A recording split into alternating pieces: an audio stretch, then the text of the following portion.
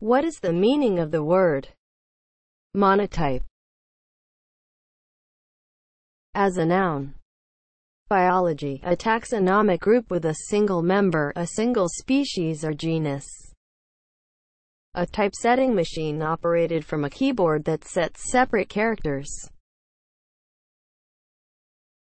Monotype is spelled M O N O T Y P E.